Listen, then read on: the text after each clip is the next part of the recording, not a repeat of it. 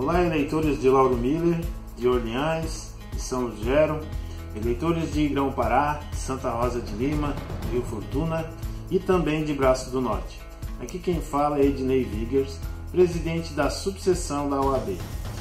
Venho solicitar para que nas próximas eleições o seu voto seja de muita responsabilidade, pois dele depende o futuro de todos nós. Voto não tem preço, mas tem consequências. Pense nisso. Muito obrigado.